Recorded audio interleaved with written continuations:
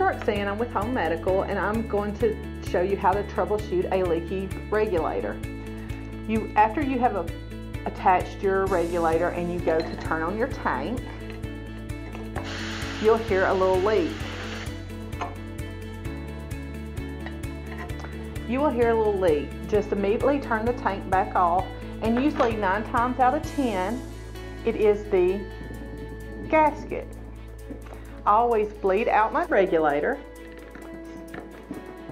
take off the regulator, and you notice on your regulator it has a gasket. You can just take your thumbnail and take it off. Most of the time it is flattened out and it's barely any rubber left to it. You will just get your new gasket and attach it to the little brass fitting.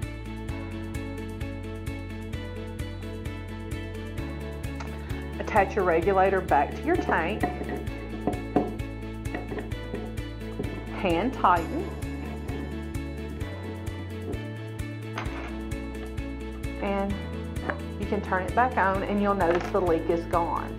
A lot of times with your gasket, when it gets wore out, it'll either you'll hear the hissing sound, it's leaking, or you'll notice your tank that it usually lasted three hours, but it's only lasting an hour. Just by changing out that gasket, it will solve the problem.